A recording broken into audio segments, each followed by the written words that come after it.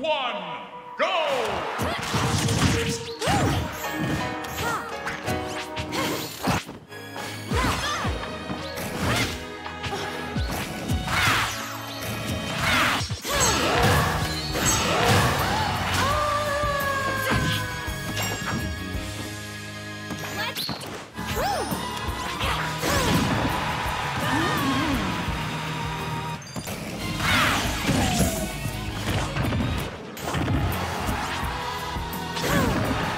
Game!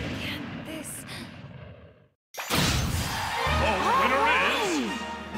Rosalina and